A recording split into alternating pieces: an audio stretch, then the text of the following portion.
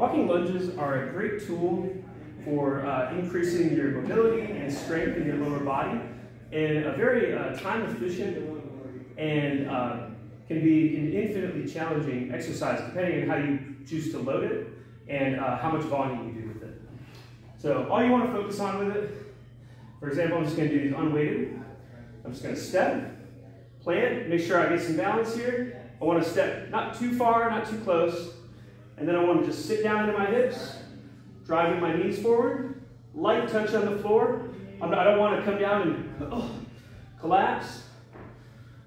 And now step up, forward. So I'm moving as I do this. So step, stabilize, light touch, back up, and then drop off that back foot.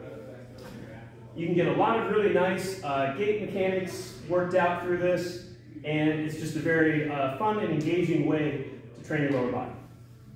And it can be extremely brutal depending on how you choose to do it. So choose your own adventure. Have a great time.